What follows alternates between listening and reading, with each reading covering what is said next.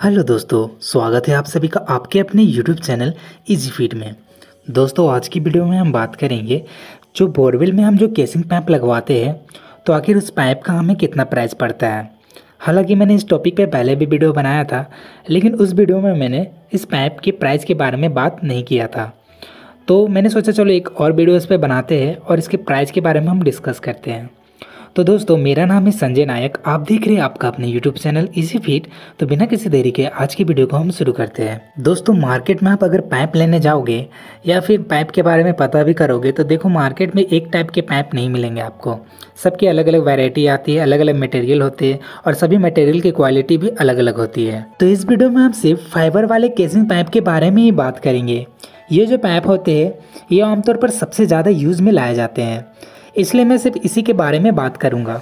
दोस्तों, मार्केट में ये पाइप्स तीन टाइप से सेल होते हैं। पहला आपका केजी के हिसाब से, दूसरा आपका मीटर के हिसाब से और तीसरा आपके पीस के हिसाब से। तो दोस्तों, ये तीनों में से आपको किस हिसाब से खरीदना सही रहेगा, मैं आपको ये भी बताऊँगा। जैसा कि आप इस चार इंच वाले केसिंग पाइप को देख सकते हो, इसका प्राइस केजी में आपका साठ रुपये से स्टार्ट हो जाता है और एक सौ अस्सी नब्बे रुपये तक चला जाता है। इसका प्राइस इसके वज़न पे डिपेंड करता है। जितना ज़्यादा वज़न होगा, इसका प्राइस भी उतना ज़्यादा होगा और इसकी क्वालिटी भी उतनी अच्छी होगी।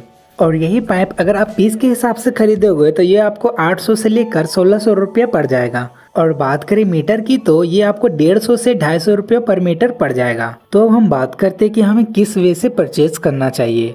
वैसे तो दुकानदार आपको हमेशा पीस के हिसाब से खरीदना प्रेफर करेंगे, लेकिन मैं आपको बता दूँ कि आपको हमेशा केजी के हिसाब से ही खरीदना चाहिए। बाय द वे अगर आप मरम्मत के लिए या फिर कम क्वांटिटी में खरीदने वाले हो तो फिर आप पीस में या मीटर में खरीद सकते हो। और अगर आप बल्क क्वांटिटी में खरीदने वाले हो तो फिर आपको केजी के हिसाब से ही खरीदना सही रहेगा। क्योंकि अगर आप पीस के हिसाब से खरीदोगे, उसमें तो आपको उसमें ज़्यादा पैसे लग जाएँगे। तो दोस्तों, हम उम्मीद करते हैं कि हमारी ये वीडियो आपको अच्छे से समझ आ गई होगी। फिर भी आपका कोई डाउट हो तो आप हमें कॉमेंट कर सकते हो। आपका कॉमेंट हमारे लिए बहुत ही इंपॉर्टेंट रहता है।